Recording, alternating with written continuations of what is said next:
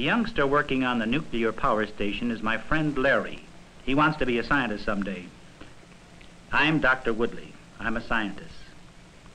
I like Larry and answer his questions about atomic energy. I teach youngsters on scientific subjects. I was writing a book on atoms and the particles of matter the last time I spoke to Larry. Now Larry was visiting science book on controlling the atom. Well, Larry, what do you remember from our talk the other day? I know that everything around us that we see and touch is made up of billions of tiny invisible particles called atoms. Atoms are so small that lined up end to end would only inch, and the atom is made up of still smaller parts. There are neutrons and protons in a nucleus, and electrons which whirl around the nucleus in various orbits but each atom is mostly empty space. Very good, Larry.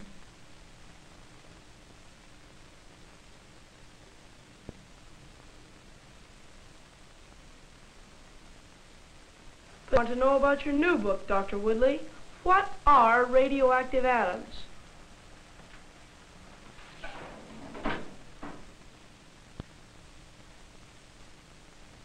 Well, scientists once believed that atoms of elements never change. Later, they discovered they were mistaken. We know that certain elements do change. They are naturally radioactive. This means that they give off a stream of energy in the form of powerful rays or particles shot out like bullets at tremendous speed. Radium is one element that is naturally radioactive. Radioactive atoms eventually lose their power change into different elements during a period ranging from a fraction of a second to 10 billion years, depending on the element.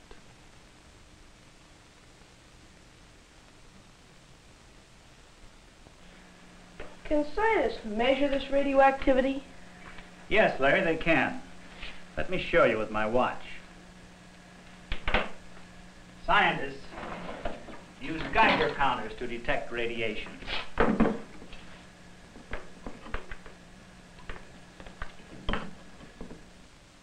The Geiger counter measures the number of particles given off by the radium on the face of the watch.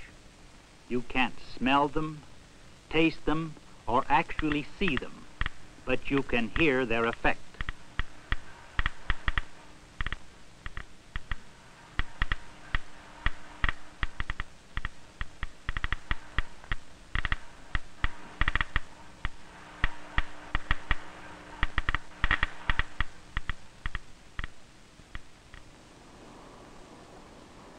Working with strongly radioactive materials can be dangerous.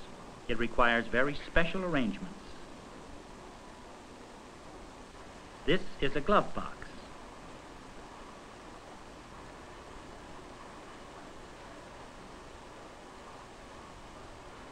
Here scientists are protected by thick windows and walls. Machines using radioactive materials are heavily shielded with lead and concrete.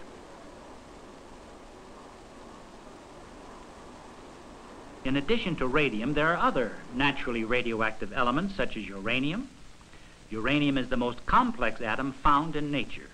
The most common type of uranium is uranium-238 with 92 electrons, 92 protons, and 146 neutrons. Scientists experimented to learn what would happen if they fired a neutron bullet at the nucleus of the uranium atom.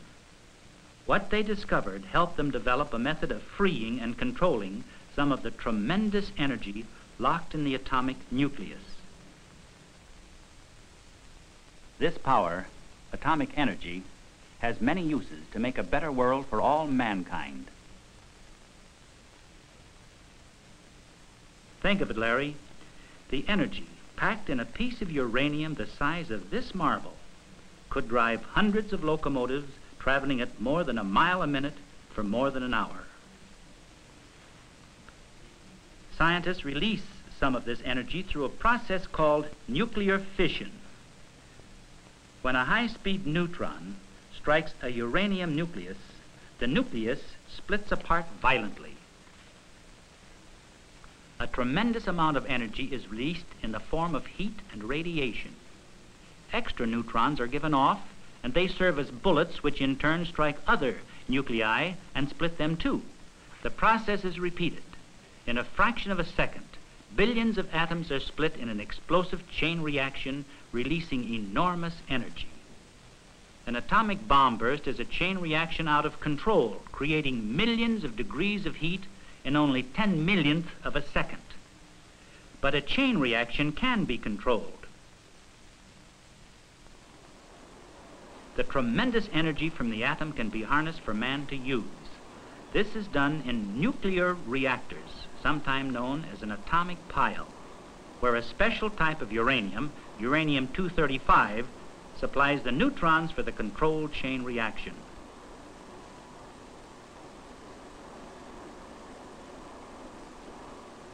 One type of atomic pile consists of a large cube of graphite with uranium rods inserted into holes in the graphite.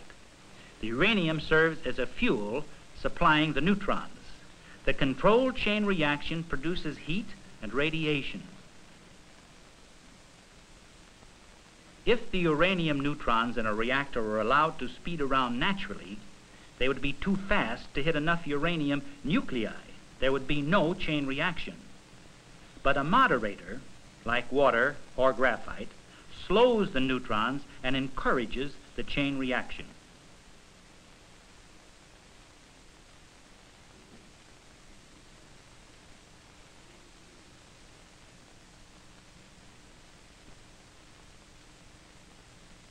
The chain reaction in the reactor is under full control at all times. If the reaction is too strong, control rods, which absorb neutrons, move in to slow down the reaction. In this way, nuclear fission can be speeded up or slowed down at man's will. Nuclear reactors come in various types. Here you see what are called tank types.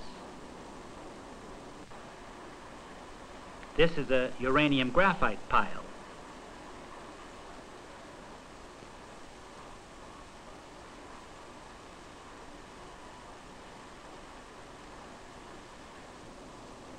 This reactor uses water as a moderator. It's called a pool-type reactor.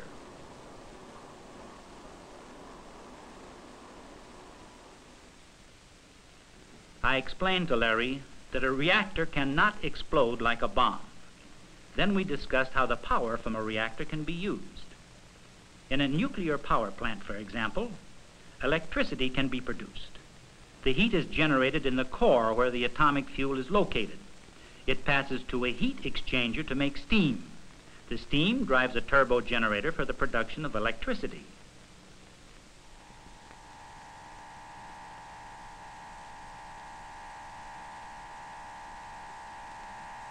The source of heat is the only difference from a conventional power plant. A little bit of atomic fuel can do the work of thousands of tons of coal or tremendous quantities of oil. This new source of energy will help us save coal for other important uses. Electricity is already produced in nuclear power stations all over the country. Scientists are working to learn ways to make the cost of electricity the same price or lower than electricity from coal-burning plants.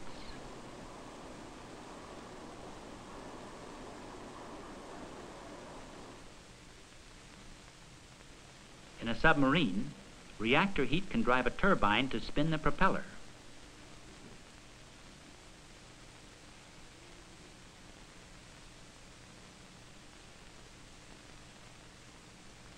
Atomic submarines can travel long distances without refueling. The famed Nautilus went under the North Pole, and the Triton went around the world completely submerged. The nuclear ship Savannah is the pioneer of the atomic-powered merchant fleet of the future. More cargo carried, much faster.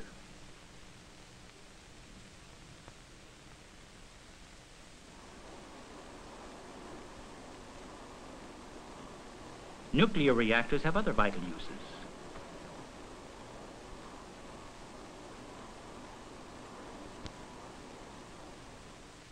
Substances not normally radioactive can be made radioactive in a reactor.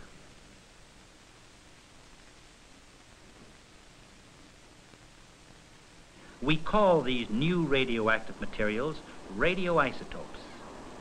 They play a big part in our world.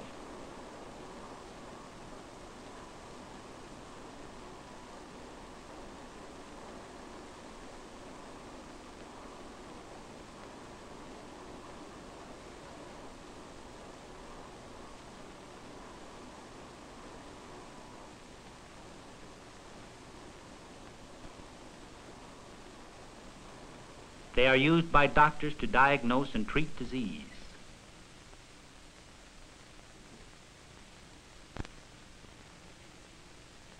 They are used to sterilize food and drugs.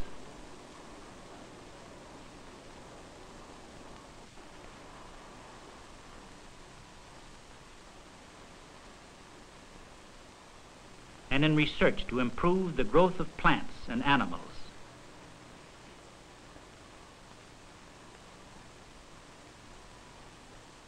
Radioisotopes make possible gauges which measure the thickness of material automatically.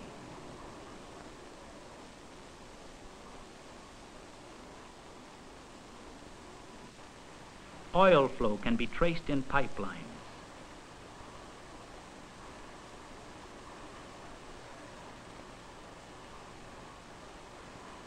Wells are checked for strength quickly and efficiently.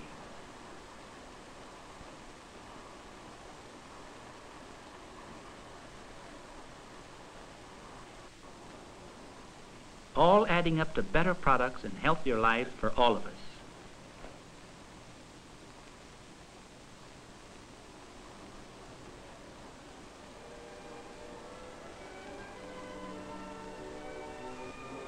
That's what will be in the book, Larry. All that, plus the idea we are only in the beginning. Young people will grow up to see the radioactive atom put to uses that have not yet been thought of.